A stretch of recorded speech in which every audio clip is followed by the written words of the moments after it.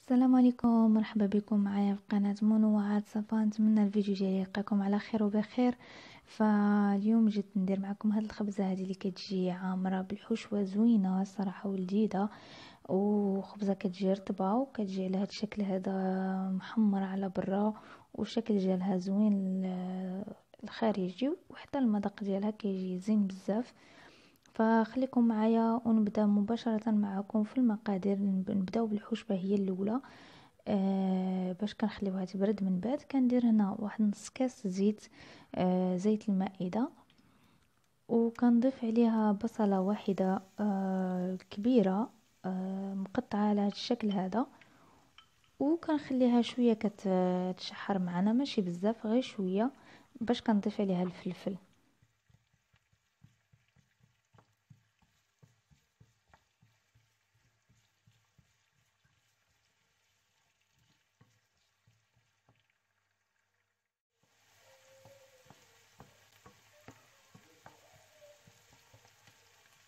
من بعد ما خليناها أه تشحرت شوية كنضيف عليها الفلفل. أنا عندي هنا درت فلفل واحدة فلفل أخضر وأحمر وأصفر.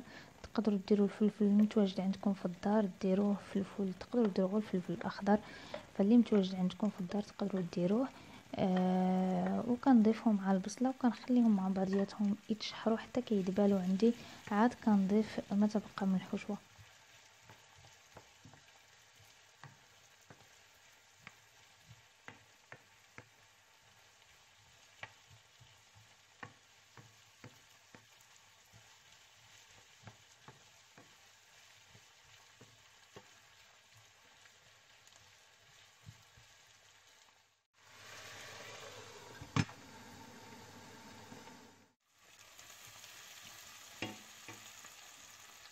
من بعد ما تشحرت الفلفلة والبصلة اللي عندي كنضيف عليها صدر الدجاج. أنا درت هنا 300 غرام صدر الدجاج مقطع طريفات صغيورين ما تخليش الطرفه كبار باش ما يتقطعش عندك العجين وباش كيعطي واحد الشكل زوين. فديري الطريفات آه، حاولي تقطعيهم طريفات صغيورين. وأنا درت 300 غرام تقدروا ديروا أكثر تقدروا ديروا قل حسب الأشخاص وحسب الكمية اللي عندكم في الدار.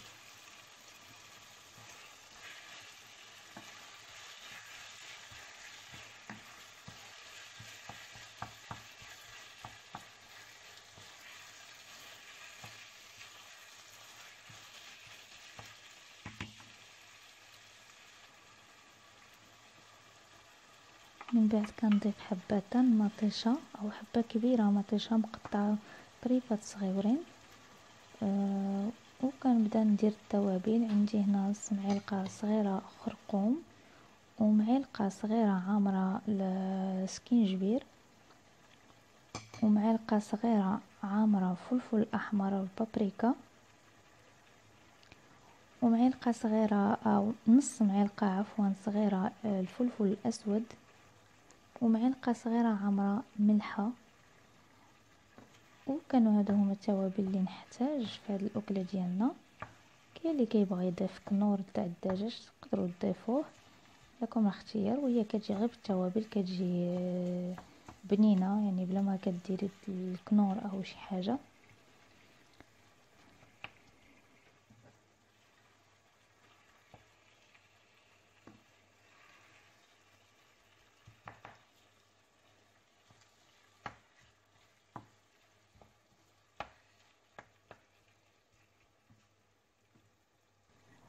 وكن وكنضيف معلقتان كبيرتان ديال القزبر ومعدنوس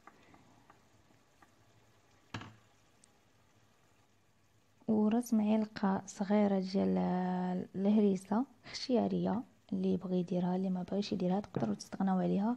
جوج معالق صغار عامرين ب مطشات الحك أو معلقة كبيرة عامرة.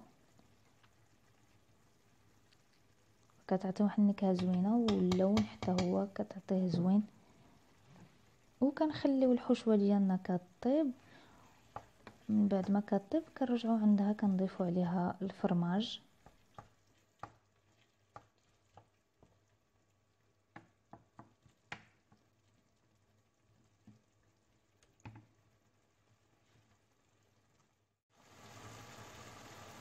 من بعد ما طابت الدجاج ديالنا طاب كنضيفوا الفرماج. أنا درت كمية قليلة تقدروا تضيفوا كمية كثيرة أو تقدروا ديروا في الأول في الحشوة كمية قليلة ومن بعد فاش كديروها في الخبيزة كتزيدوا فأنا درت آه، قليل. من بعد كنمشيو مباشرة للعجينة ديالنا. آه كندير 500 غرام الدقيق الأبيض وخميرة الخبز أو خميرة الحلويات عفوا أو baking powder أو خميرة الكيماوية sachet وحدة. وثلاثه الملاعق ديال الزيت المائدة كبار.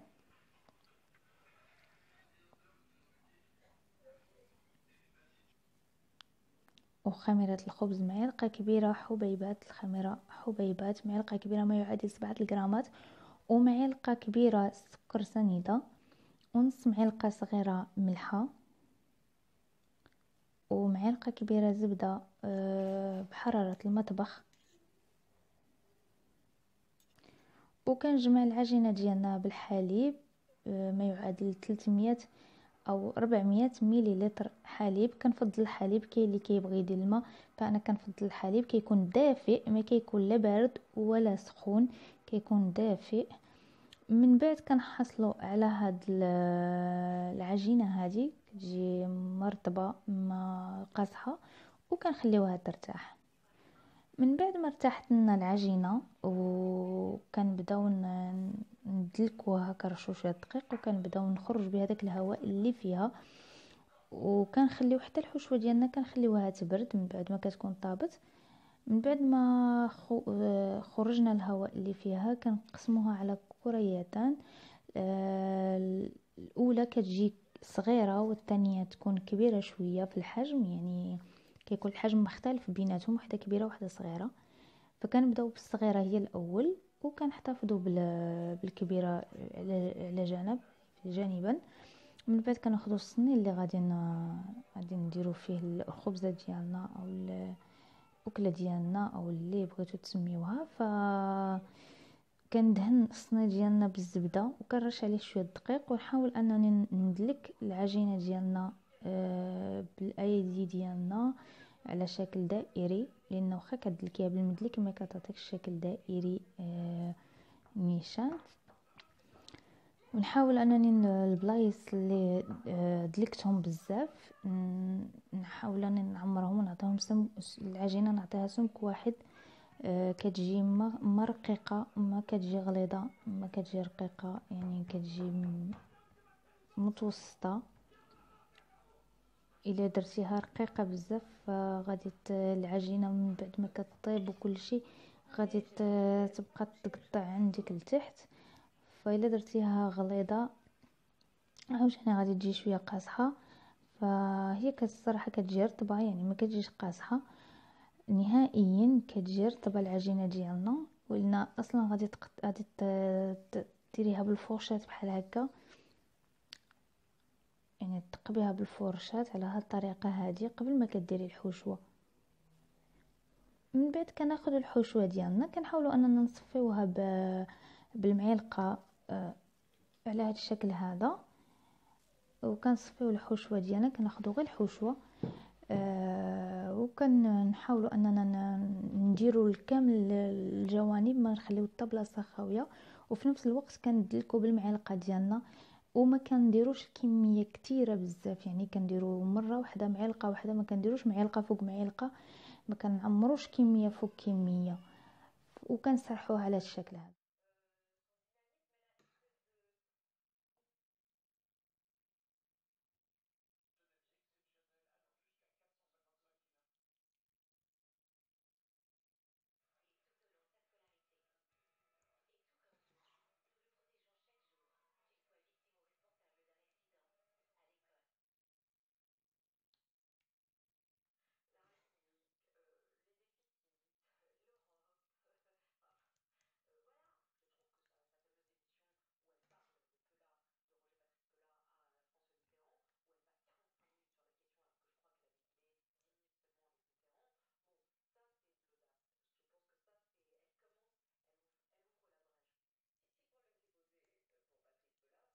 فمن بعد ما كنساليو بالحشوه ديالنا كامله كنضيفوا العجينه اللي كنا آه، درنا خليناها قبل بالحجم ديالها الكبير. فكتجي كبيره على العجينه اللي عندنا لتحت وكنحاولوا أننا نطويوها على هذا الشكل هذا. يعني كناخذوا التحتانيه كنطلعوها بيدينا وكنديروا الفوقانية آه كنحاولوا أنها نطويوها كاع من التحت وكنستمروا على هذا الشكل فكنظن أن الطريقة سهلة. وماشي صعيبة فقط تركيز وكنتبعوا كامل الجوانب على نفس الطريقة.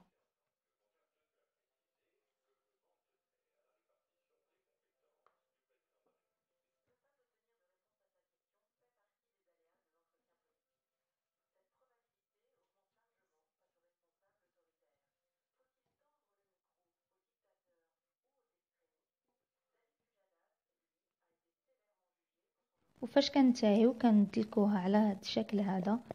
نحاولوا اننا ندلكوها شوية ماشي بزاف باش ما تنتقبلناش العجينة ديالنا. ندلكوها على شكل دائري باش كيجي الشكل ديالها مستوي.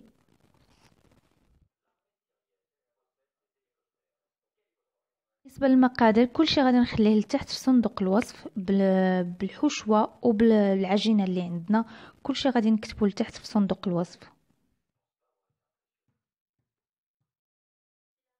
أخيرا خديت هنا بيضة واحدة وضفت عليها القليل من سكر سنيدة وكندهن جميع الأطراف والجوانب ديال الخارجية ديال العجينة ديالنا أو الخبزه ديالنا المعمرة آه وكنخليها حتى كتقرب أنها طيب يعني حتى كطيب آه كنبغي نخرجها وكنرش عليها الفرماج محكوك من الفوق باش كيعطي داك الشكل ديالها النهائي. واللي بغى يدير الفرماج في الحشوه لداخل يقدر يضيفو لكم الاختيار كل واحد وشنو اللي يعجبو الفرماج لداخل يقدر يضيفو. أنا ما درتوش درت القليل جدا في الحشوة فقط. أه فكنستمر على هذه الطريقة. كندهن جميع الجوانب. ومن بعد كندخلها الفور على 180 درجة. كنشعل عليها من التحت في الأول. وكنعاود من كنشوفها أنها بدات كطيب لي من التحت. كنشعل عليها من الفوق ومن التحت. وكان شكرا على التتبع ديالكم وبصحه والراحة.